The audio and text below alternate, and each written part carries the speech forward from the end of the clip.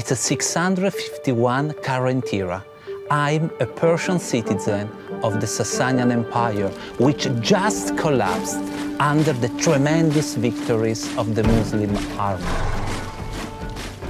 I'm also a member of a unique and ancient religion, Zoroastrianism, founded by the prophet Zarathustra and which was so far the official belief of my empire. My religion recognizes only one creator God, Ahura Mazda, and considers our earth as a battlefield of dualistic and opposite forces, such as good and evil, truth and lie, and light and darkness. For the Zoroastrian, the Muslim conquest is a defeat of huge proportions. In the wake of this social, religious, and political tragedy, they begin to compose apocalyptic texts. In ancient Greek, apocalypsis, apocalypse, means revelation, and it is not necessarily a negative thing, as popular culture understands. This text carry the revelation of God, and there is a good news. Though the coming of the new faith has brought about the disintegration of the fundamental values of society and the loss of the religious identity, this is just part of a precise, a positive design of salvation and continuity. Ahura Mazda will send a savior who will reestablish the Zoroastrian religion and will foretell a new ideal world.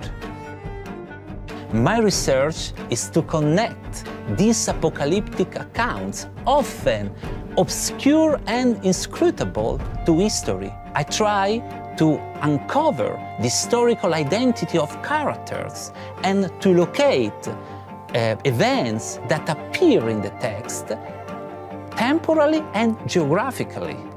I try also to determine why, when, and where these texts were composed and reworked along the history of the Zoroastrian community.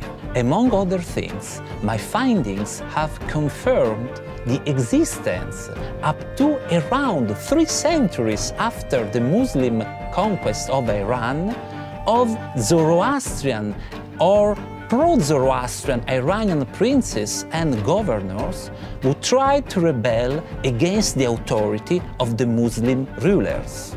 Each time that Zoroastrian saw one of them as that long-awaited savior and kept their hopes alive in their accounts.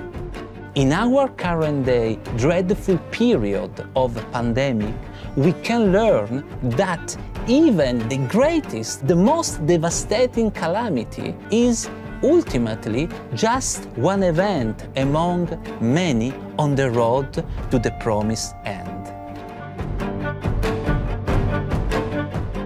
Perhaps, as for Zoroastrian readers seeking consolation and hope in their text, apocalyptic literature can give us a sense of order and relief as we face our own life challenges.